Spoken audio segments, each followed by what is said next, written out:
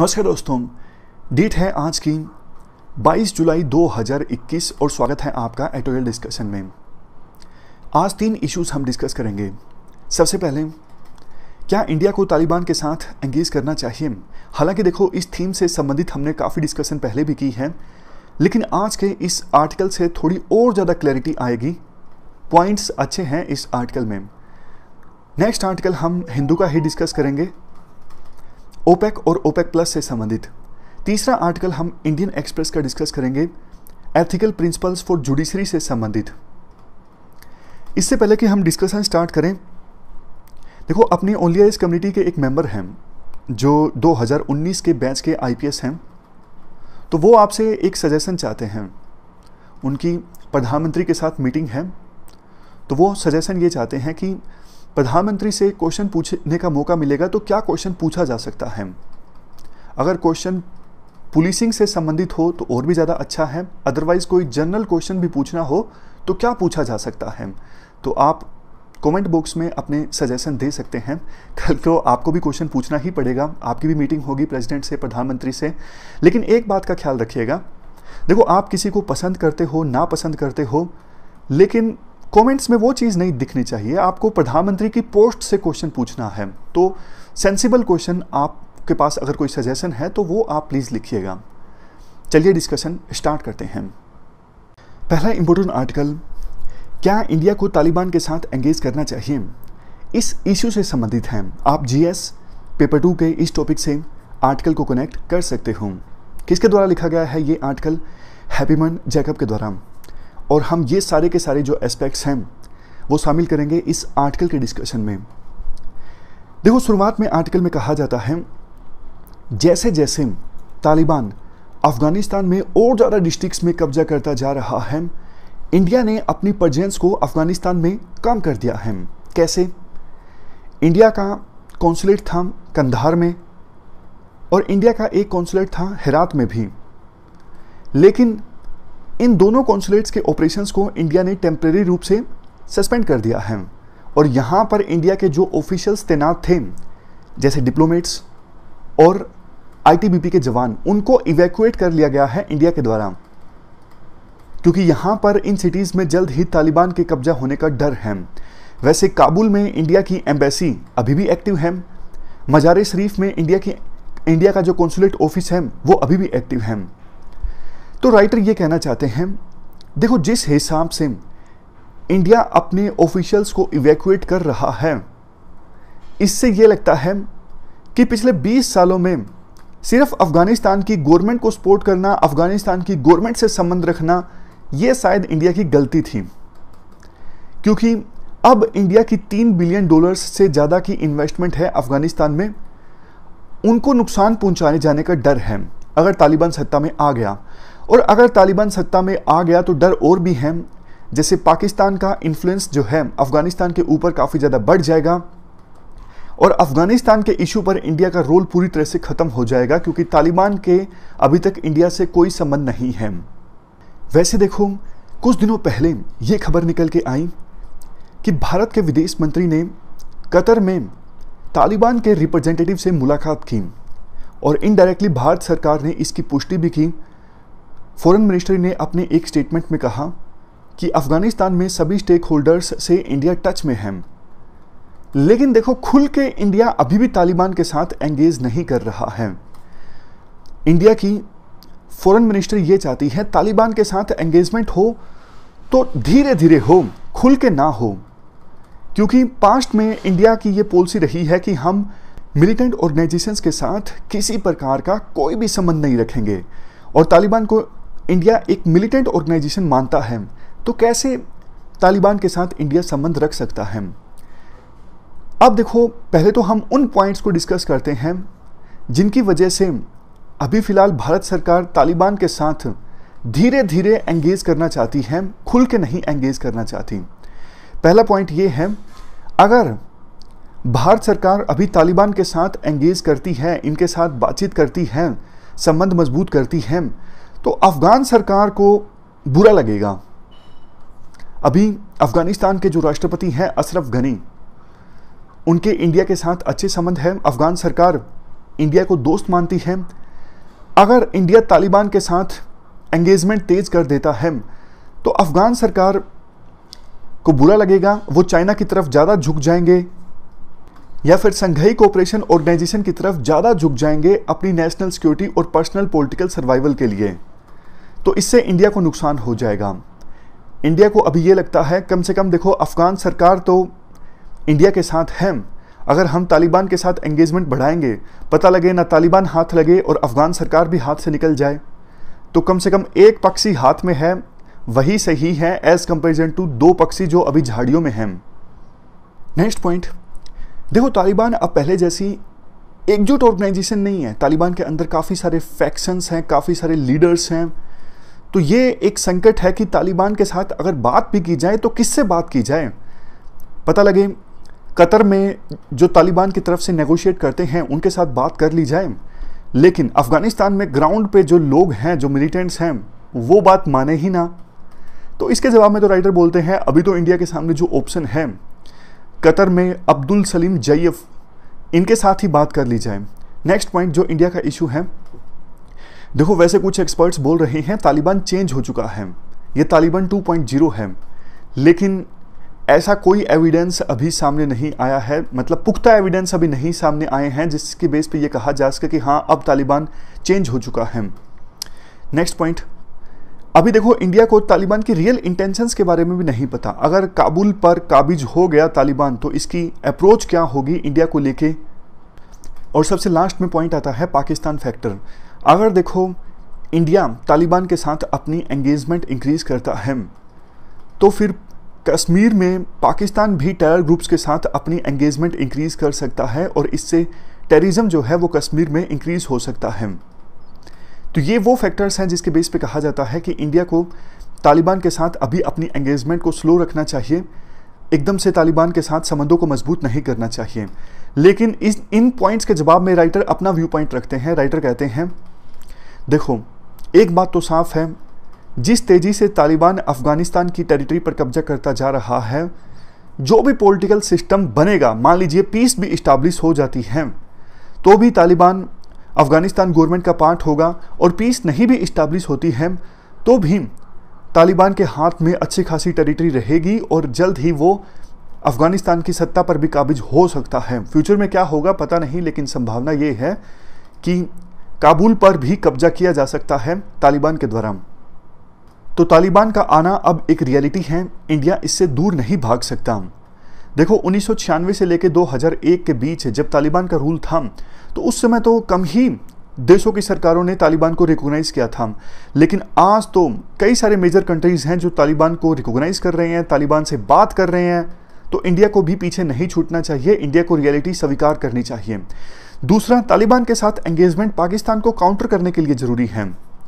देखो, बेशक तालिबान को सपोर्ट किया गया है पाकिस्तान के द्वारा बहुत ज़्यादा, लेकिन एक पॉइंट जो हमने बार बार ये डिस्कस किया है कि तालिबान अगर सत्ता में आ जाती है तो कोई ज़रूरी नहीं तालिबान पाकिस्तान के इशारों पर काम करेगी।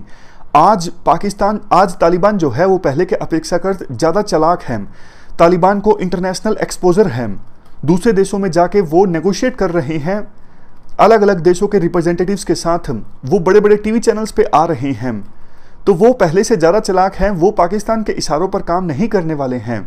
बल्कि पाकिस्तान भी इस चीज़ से असहज महसूस कर रहा है कि डूरन लाइन को लेके तालिबान का जो स्टैंड है वो और ज़्यादा मज़बूत हो सकता है और पाकिस्तान इसको लेके काफ़ी ज़्यादा इनसिक्योर है। पाकिस्तान के न्यूज़पेपर्स अगर आप पढ़ोगे तो आपको ये जानने को मिलेगा, पाकिस्तान को भी डर लग रहा है कि कहीं तालिबान को सपोर्ट करके गलती तो ना कर दी। मतलब ऐसा तो नहीं कि कहीं तालिबान के आने से पाकिस्तान को नुकसान काफ़ी ज़्यादा हो जाए रिफ्यूजीज़ काफ़ी ज़्यादा आ जाए पाकिस्तान में। डूरेड लाइन को लेके तालिबान का स्टैंड और ज़्यादा एग्रेसिव हो जाए पाकिस्तान में भी टेररिज्म और ज़्यादा बढ़ जाए तहरीक तालिबान के थ्रू तो इन सब चीज़ों का पाकिस्तान को भी डर लग रहा है। नेक्स्ट पॉइंट देखो, इंडिया ने तीन बिलियन डॉलर से ज़्यादा का जो इंफ्रास्ट्रक्चर क्रिएट किया है अफ़गानिस्तान में, क्या ये छोड़ने के लिए है? नहीं ना। इंडिया ने बहुत बढ़िया इंफ्रास्ट्रक्चर क्रिएट किया है, जैसे जारांस डेलाराम हाईवे प्रोजेक्ट है सलवा डैम है, उज्बेकिस्तान के बॉर्डर से काबुल तक ट्रांसमिशन लाइन्स आती हैं, बहुत सारे स्कूल्स हैं तो ये इंफ्रास्ट्रक्चर इंडिया छोड़ नहीं सकता। इन सिविलियन एसेट्स को सिक्योर रखने के लिए भी इंडिया को तालिबान के साथ एंगेज करना चाहिए। और सबसे लास्ट में, अगर देखो इंडिया अफ़गानिस्तान को यूँ ही छोड़ देता है। भाई तालिबान अब सत्ता में आ गया, अब हमारा यहाँ पे कोई काम नहीं। तो ये इंडिया की बहुत बड़ी गलती होगी। पास्ट में भी इंडिया ने ऐसी गलतियाँ की हैं।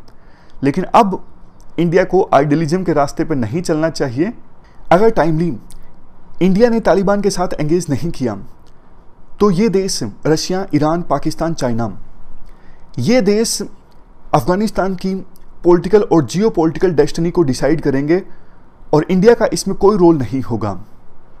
और वैसे भी देखो, इंडिया की ग्लोबल पावर बनने के एम्बिशंस हैं। इंडो पैसिफिक रीजन में आज के समय में इंडिया एक्टिव रोल प्ले कर रहा है।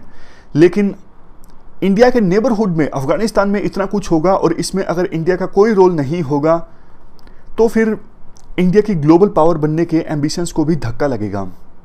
लास्ट में कंक्लूजन में राइटर उन्नीस सौ निन्यानवे में इंडिया का जो एक प्लेन हाईजैक हुआ था ना I C eight one four आतंकवादियों ने यह प्लेन कंधार में उतारा था और वहाँ पे उस समय तालिबान का रूल था।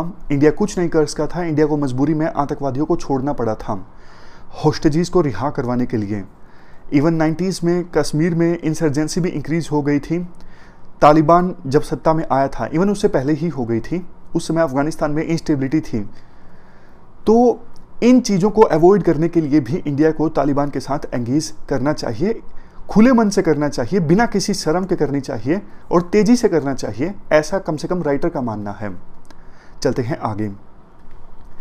इसके बाद जुडिशरी में कुछ एथिकल इश्यूज़ की हम बात करते हैं। आप जीएस पेपर फोर से इस आर्टिकल को रिलेट कर सकते हो। पहला एथिकल इशू रेक्यूजल से संबंधित है। यानी किसी जज के द्वारा केस की सुनवाई से अपने आप को अलग रखने से संबंधित है। जब भी देखो कन्फ्लिक्ट ऑफ़ इंटरेस्ट का क्वेश्चन आता है, यानी केस में जज के बाइस्ट होने की संभावना पैदा होती है तो जज को उस केस से अपने आप को अलग रखना, रख लेना चाहिए। और देखो ना सिर्फ़ जज को बाइस्ट होना नहीं चाहिए, बल्कि जनता को भी ये लगना चाहिए कि जज जो हैं किसी भी प्रकार से बाइस्ट नहीं हो सकते। समझ गए? अगर मान लीजिए जज बाइस्ट नहीं है, लेकिन जनता को लगता है कि जज बाइस्ट हैं तो भी जनता का जो ट्रस्ट है, विश्वास है जुडिशरी में, वो कमज़ोर होगा ना? और वैसे जज को किसी भी बेस पे बाइस्ट होना ही नहीं चाहिए। जैसे सभी जो सिटीजन्स हैं वो बराबर हैं, किसी भी धर्म का हो, किसी भी एथनिक ग्रुप का हो, कुछ भी इकोनॉमिक बैकग्राउंड हो जज बिना प्रिजुडाइज होके, बिना अपनी सोच को इन्वॉल्व किए केस का फैसला करेंगे। इसके बाद नेक्स्ट इशू है कंपेशन एंड कंसाइंस देखो, वैसे तो जज को फैसला सुनाना होता है फैक्ट्स के आधार पर ऑब्जेक्टिविटी के आधार पर ला के आधार पर तो कंपेशन का सीधा सीधा तो स्कोप नहीं होता। क्यों? क्योंकि अगर जज दया दिखाने लगेंगे, ऐसे तो जिसने अपराध किया है, उसकी फैमिली कंडीशन भी खराब हो सकती है। लेकिन उसे माफ़ तो नहीं किया जा सकता ना, अपराध किया है। लेकिन देखो, सुनवाई के दौरान जज ज़रूर कंपैशन दिखाएँगे, जैसे सबकी बात धैर्यपूर्वक सुनना। किसी ने अपराध किया है तो उसके भी ह्यूमन राइट्स हैं। अगर वो बोलता है कि मुझे जेल में मारा पीटा जा रहा है, मेरे साथ जानवरों जैसा व्यवहार किया जा रहा है तो ये गलत है। मतलब सुनवाई के दौरान प्रोसीजर के दौरान जज जो हैं, वो कंपेशन ज़रूर दिखाएँगे। अदरवाइज़ फैक्ट्स के बेस पे ऑब्जेक्टिविटी के बेस पे ला के आधार पर अपना फैसला देंगे। नेक्स्ट पब्लिक स्पीच जज का काम होता है पब्लिकली जब भी देखो वो कोई स्पीच दें तो वो अपने रोल और अपनी रिस्पॉन्सिबिलिटी का ध्यान रखें। ऐसा नहीं कि जज ने कुछ भी बोल दिया। जज को बहुत ज़्यादा ध्यानपूर्वक वर्ड्स का इस्तेमाल करना चाहिए। अदरवाइज़ कल को वो कोई केस की सुनवाई करेंगे तो पार्टीज़ को ये लग सकता है कि जज के विचार तो ऐसे हैं कि शायद हमारे पक्ष में फैसला ना दें। इसके बाद नेक्स्ट है फैमिली कंडक्ट कुछ दिनों पहले देखो, एक खबर वायरल हुई थी, एक जज जो है, शायद आंध्र प्रदेश हाईकोर्ट में थे, वो अपने फैमिली मेंबर्स के साथ, अपनी वाइफ के साथ मारपीट कर रहे थे। अब देखो किसी जज का फैमिली में ही ऐसा व्यवहार होगा। तो फिर कल को फैमिली से संबंधित केसेस आएँगे उस जज के सामने। तो कैसे उम्मीद की जा सकती है कि वो इन केसेस का फैसला ठीक से करेंगे? मोरल अथॉरिटी नहीं रहेगी ना। जैसे देखो एक नॉर्मल सी बात है। मान लीजिए हम डेली एडिटोरियल डिस्कस करते हैं, लेकिन कल को ऐसा हो कि एक दिन डिस्कशन हो, दो दिन की छुट्टी, फिर एक दिन, दो दिन की छुट्टी, और फिर मैं आपके, आपको, आके बोलूँ आपको कि पढ़ाई में कंसिस्टेंसी मेंटेन कीजिए तो आपको लगेगा, अरे यार तुम पहले खुद तो कंसिस्टेंट हो लो फिर हमें सलाह दो। तो वही बात है। उसके बाद नेक्स्ट है पब्लिक ट्रस्ट जज को अपने कार्यकाल के दौरान कोई ऐसा काम नहीं करना चाहिए जिससे जनता का जो ट्रस्ट है जज के ऑफ़िस में या फिर जुडिशरी में किसी भी प्रकार से कमज़ोर हो। ये कुछ principles for ethical conduct of जजेस हैं। तो बस एक बार इन पर नज़र डाल लीजिए। जज जो हैं, वो इंडिपेंडेंट होकर काम करें। और इम्पार्शियल होकर काम करें, काम में इंटीग्रिटी दिखनी भी चाहिए, होनी भी चाहिए। कॉम्पिटेंट एंड डिलीजेंस सभी पार्टीज़ को इक्वली ट्रीट करें प्रोप्राइटी होनी चाहिए काम में। तो ये प्रिंसिपल्स आप लिख सकते हो एथिक्स में जब क्वेश्चन आता है। वैसे देखो, उन्नीस सौ सत्तानवे में सुप्रीम कोर्ट और हाई कोर्ट के जजेस के द्वारा मिलकर 16 पॉइंट का एक कोड ऑफ़ कंडक्ट एडोप्ट किया गया था कि जजेस को किस प्रकार से बिहेव करना चाहिए। गुजरात हाईकोर्ट ने हालाँकि डिसेंट ज़ाहिर की थी इस 16 पॉइंट के कोड ऑफ़ कंडक्ट पर। तो ये कुछ पॉइंट्स हैं। जैसे हायर जुडिशरी का जो कंडक्ट है या फिर बिहेवियर है, वो ऐसा होना चाहिए कि जनता को लगे कि जज जो है, वो इम्पार्शियल होकर काम कर रहे हैं। ऐसा कोई काम ना किया जाए सुप्रीम कोर्ट या फिर हाई कोर्ट के जज के द्वारा अपने पर्सनल कैपेसिटी में या फिर ऑफिशियल कैपेसिटी में, जिससे जुडिशरी की जो क्रेडिबिलिटी है, वो कमज़ोर होती हो। दूसरा पॉइंट जज को किसी भी क्लब के ऑफ़िस का या फिर कोई भी इलेक्शन नहीं लड़ना चाहिए, सिर्फ़ कानून से संबंधित कोई एसोसिएशन या फिर सोसाइटी है तो उन एसोसिएशन या फिर सोसाइटीज़ में इलेक्टिव ऑफ़िस पर जज रह सकते हैं। तीसरा, जज देखो जिस कोर्ट में काम कर रहे हैं, वहाँ पर बार के किसी मेंबर के साथ, यानी कोई वकील है, उसके साथ में क्लोज एसोसिएशन नहीं होना चाहिए। कल को देखो वही वकील केस लेके जा सकता है उस जज के सामने तो फिर तो बाइसनेस का खतरा पैदा हो जाएगा ना। नेक्स्ट पॉइंट जज देखो, अपने किसी भी इमीडिएट फैमिली मेंबर को, जैसे पति या फिर पत्नी है सन daughter sun in La daughter in ला या फिर क्लोज रिलेटिव इनको अलाउ नहीं करेंगे अपने सामने अपियर होने के लिए वकील के तौर पर। इवन इन फैमिली मेंबर्स को केस से किसी भी प्रकार से एसोसिएट करने की इजाज़त नहीं दी जाएगी। नेक्स्ट पॉइंट इवन देखो जिस कोर्ट में जज काम कर रहे हैं, अगर उसी कोर्ट की बार में कोई फैमिली मेंबर है तो फिर उस फैमिली मेंबर को जज का रेजिडेंस इस्तेमाल करने की इजाज़त भी नहीं दी जाएगी। नेक्स्ट पॉइंट जज should practise a degree of aloofness मतलब जज को एक रिज़र्व नेचर का होना चाहिए, ताकि ऑफ़िस की डिग्निटी को मेंटेन किया जा सके। नेक्स्ट पॉइंट जज ऐसे कोई मामले को नहीं सुनेंगे जिसमें उनका कोई फैमिली मेंबर या फिर फ्रेंड जो है वो इन्वॉल्व हो मतलब पार्टी हो। केस अपने फैमिली मेंबर से संबंधित हो तो जज उस केस की सुनवाई नहीं करेंगे, उस केस से अपने आप को अलग कर लेंगे। नेक्स्ट जज देखो, किसी भी पब्लिक डिबेट में एंटर नहीं करेंगे और पॉलिटिकल मैटर्स पर अपने व्यूज़ जो है वो पब्लिकली एक्सप्रेस नहीं करेंगे। नेक्स्ट जज देखो मीडिया से बात नहीं करेंगे। उनकी जो जजमेंट है, वही सब कुछ बोलेगी। नेक्स्ट जज गिफ्ट को एक्सेप्ट नहीं करेंगे। और देखो फैमिली से संबंधित कोई भी हॉस्पिटैलिटी या फिर गिफ्ट है, उसको तो एक्सेप्ट कर लेंगे। अब भाई ने भाई को गिफ्ट किया है, वो अलग बात है। लेकिन इसके अलावा पब्लिक से कोई भी गिफ्ट जज एक्सेप्ट नहीं करेंगे। नेक्स्ट देखो, अगर किसी जज के कंपनी में कुछ शेयर्स है ना तो फिर उस कंपनी से संबंधित मामले की सुनवाई जज के द्वारा नहीं की जाएगी। जज इवन शेयर मार्केट में इन्वेस्ट भी नहीं करेंगे। देखो, बहुत बड़ी ताकत होती है जुडिशरी के पास में। मान लीजिए सुप्रीम कोर्ट के किसी जज के पास, जज कोई केस है वोडाफोन से संबंधित। अब वोडाफोन का मान लीजिए शेयर लिस्टेड है इंडियन स्टॉक मार्केट में। जज को तो पता है ना कि फैसला वोडाफोन के खिलाफ जाना है या फिर वोडाफोन के पक्ष में जाना है। अगर फैसले के अगेंस्ट जज स्टॉक मार्केट में इन्वेस्ट कर दें तो वो तो एक घंटे के अंदर अंदर इतना कमा लेंगे। आपको भी पता है, जैसे ही फैसला आता है, स्टॉक के प्राइस जो हैं, वो तो फैसले के अनुसार या तो बहुत ज़्यादा बढ़ जाते हैं या बहुत ज़्यादा घट जाते हैं। तो इसलिए जजेस पे रोक होती है, वो शेयर मार्केट में इन्वेस्ट नहीं कर सकते। इवन ये भी पॉइंट शामिल किया गया है कि जज डायरेक्टली और इनडायरेक्टली किसी प्रकार के ट्रेड और बिज़नेस में भी शामिल नहीं होंगे। नेक्स्ट जज किसी प्रकार की कोई फैसिलिटी की डिमांड नहीं करेंगे किसी से। जो फैसिलिटीज़ जजेस के लिए अवेलेबल हैं, वो तो उनका हक है, वो मांग की जा सकती है। अदरवाइज़ किसी एक्स्ट्रा फैसिलिटी की डिमांड नहीं की जाएगी किसी से भी। लास्ट पॉइंट ये है, जज को देखो, हमेशा ये ध्यान में रखना चाहिए कि पब्लिक उनको देख रही है, उनका जो व्यवहार है, वो पब्लिकली नोटिस किया जा रहा है। इसलिए उनको ऐसा कोई काम नहीं करना चाहिए जिससे उनकी ऑफ़िस की डिग्निटी जो है वो हर्ट हो। ये सारे पॉइंट्स आप लिख सकते हो अगर जुडिशरी में एथिक्स से संबंधित कोई क्वेश्चन आता है। नेक्स्ट आर्टिकल ओपेक प्लस में बिखराव से संबंधित है। आप जीएस पेपर टू के इस टॉपिक से आर्टिकल को रिलेट कर सकते हो। ये सारे एस्पेक्ट्स हम कवर करेंगे इस आर्टिकल के डिस्कशन में। देखो बेसिक्स की बात पहले करते हैं। ओपेक क्या है? ये कार्टल है। ओपेक प्लस क्या है? ये भी एक कार्टल है। ओपेक इसका निर्माण तो हुआ था 1960 में। इसमें है तेरह देश। और ये सारे देश ऑयल प्रोड्यूस करते हैं। लेकिन कुछ और भी देश हैं जो ऑयल एक्सपोर्ट करते हैं। वो ओपेक का पार्ट नहीं है। वो ओपेक प्लस का पार्ट है। कंफ्यूज हो गए? मैं बताता हूँ।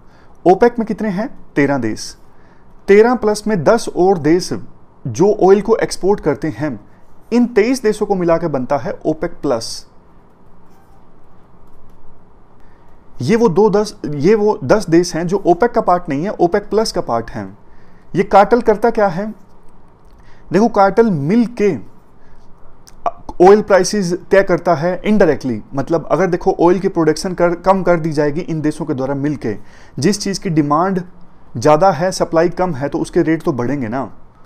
तो इस प्रकार से ये जो ऑयल प्रोड्यूसिंग कंट्रीज़ हैं ना मिल के इंटरनेशनल मार्केट में ऑयल के दामों को इन्फ्लुएंस करते हैं मैनिपुलेट करते हैं और अपने इंटरेस्ट सर्व करते हैं। क्योंकि इनको ये लगता है, अगर सभी देश ज़्यादा ज़्यादा ऑयल को प्रोड्यूस करेंगे तो एक तो इंटरनेशनल मार्केट में ऑयल के दाम काफ़ी कम हो जाएँगे और कल को इनका तेल भी ख़त्म हो जाएगा, फिर ये क्या करेंगे? इसलिए ये देश मिल के इंटरनेशनल मार्केट में ऑयल के दामों को इन्फ्लुएंस करते हैं मैनिपुलेट करते हैं। हुआ क्या था अभी? यूएई ने धमकी दी थी कि हम ओपेक से बाहर आ जाएँगे। तो नेगोशिएशंस चली, यूएई, सऊदी अरेबिया, रशिया, इन सब के बीच। तो यूएई अब मान गया है। पहले यूएई की शिकायत ये थी कि हमारा कोटा कम है और इसलिए या तो आप हमारा कोटा इंक्रीज कीजिए अदरवाइज़ हम इस ओपेक से बाहर आ जाएँगे। तो अब एग्रीमेंट में ये तय हुआ है कि इनकी जो बेस लाइन है सऊदी यूएई के कोटे की, वो इंक्रीज कर दी गई है। मतलब इनका कोटा ज़्यादा बढ़ गया है। अब ये ज़्यादा ऑयल प्रोड्यूस कर सकेंगे। अब ओपेक प्लस जो कंट्रीज़ हैं, वो एक दिन में चार लाख बैरल ज़्यादा ऑयल प्रोड्यूस करेंगे। तो उम्मीद ये है ऑयल के दाम कम हो सकते हैं। इंडिया चाइना जैसे देशों की शिकायत ये थी कि भैया, आपके पास ऑयल है तो कम से कम ऐसा नहीं ना कि बहुत कम आप प्रोड्यूस करो और इंटरनेशनल मार्केट में ऑयल के दाम इतने ज़्यादा बढ़ गए। कुछ तो आप डेवलपिंग कंट्रीज़ का भी ख्याल रखो ना।